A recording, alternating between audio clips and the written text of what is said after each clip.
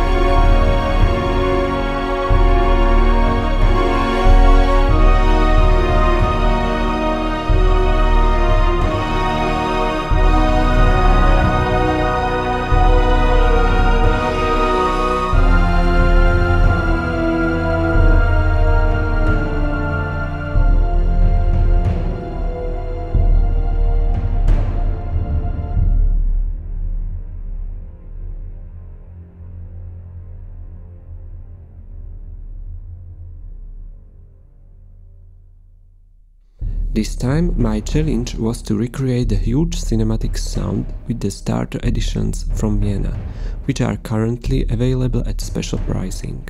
So I'd like to share a few tips on how to get from the pure instruments that come with the special editions to the sound we are all after. As it happens often, the greatest arrangements come with a highly effective score, and this is a great way to learn from master arrangers.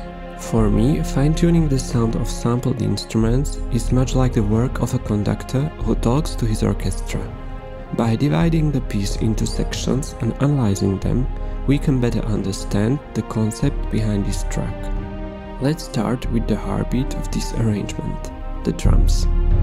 I have taken the cool synchron drums and started with the ambience mixer preset. Then I divided the hits into three categories low hits, regular and close hits, and I tweaked the presets accordingly. For the low hits, I added a high cut filter EQ and some effects to make them sound boomy. The regular hits have more reverb and a widener plugin on the main microphone. The close drums have less reverb than the regular drums, and I have inverted the panning. Throughout the whole piece there is a sub-bass overlay. It is a commonly used trick which adds more low end to the orchestra. Luckily, Special Edition Volume 1 also comes with very handy FX presets, and Venom was just the right choice to lay down the bass foundation for this piece. So our musical playground is already established. Now, to a much more intriguing challenge.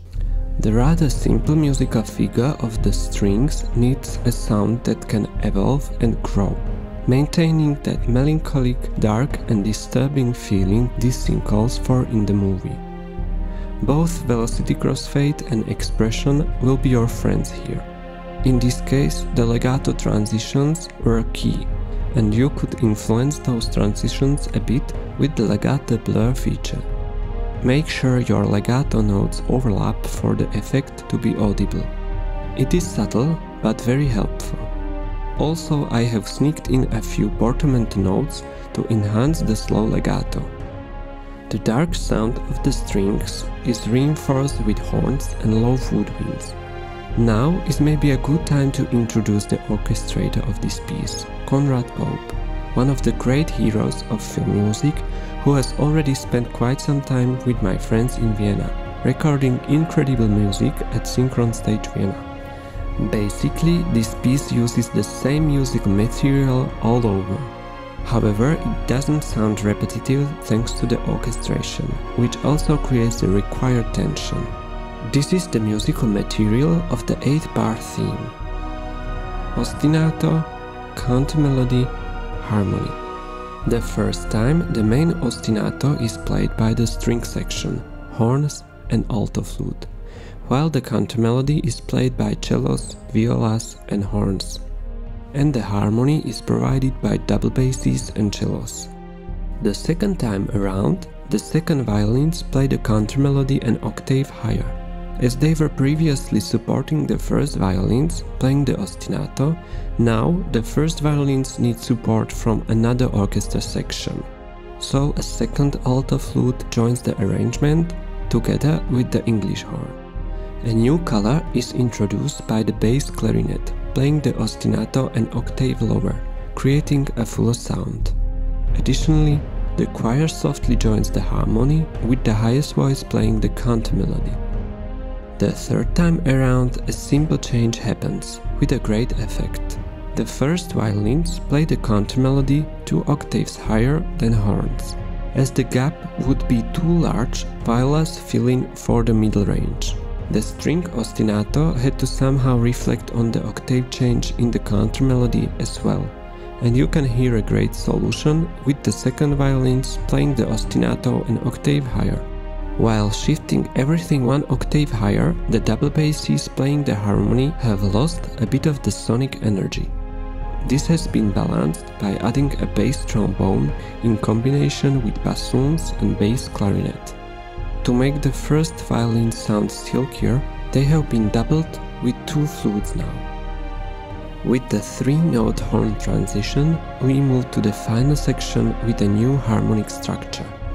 The arrangement really grows and the brass give it more gravitas. The horns support the chord structure, trombones and trumpets increase the feeling of urgency and bravery.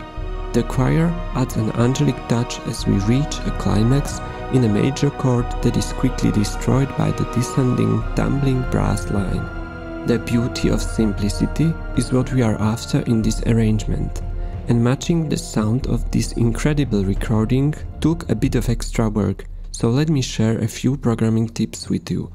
Early in the video I mentioned I used velocity crossfade and expression to create the string melody. Think about the velocity crossfade as the main tool to create dynamics and expression as a means to refine it. I usually use it in tandem, following the same motion, Notice that usually when the pitch rises, there is a tendency to increase the dynamic a little bit, and vice versa. Also, when strings are playing an accompaniment role in the arrangement, I often use the roof shape for my velocity crossfade. The brass and woodwinds behave differently. Unlike strings, they cannot hold a note indefinitely. So make sure there are some gaps in your MIDI programming to let your players breathe. For the wind players, it is natural to end the notes with a lower dynamic, as they are running out of breath. But there are exceptions. Look at this example. In this case, the player starts the note at the highest dynamic, then reduces the intensity in order to have enough breath to end the note at fortissimo. Every melody has different ways to be played, so use your ears to find the best option.